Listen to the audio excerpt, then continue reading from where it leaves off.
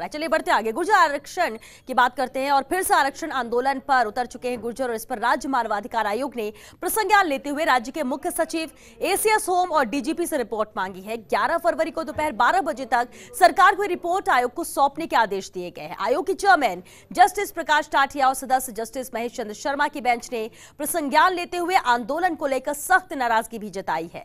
आयोग ने राज्य में अब तक हुए गुर्जर आंदोलन के दौरान रेल पटरी उखाड़ने, राजमार्ग को रोकने के किए गए मुकदमों का संपूर्ण विवरण मांगा है। आयोग ने सरकार से जिन मामलों में चालान पेश किया गया है और चालान पेश किए जाने के बाद वापस लिए गए हैं, मुकदमों को लेकर भी रिपोर्ट मांगी है और इसके साथ ही राज्य सरकार से अनुशंसा की है कि सड़क या रेल मार्ग से यात्रा करने वाले यात्रियों के मानवाधिकारों का हर हाल में रक्षा की जाए।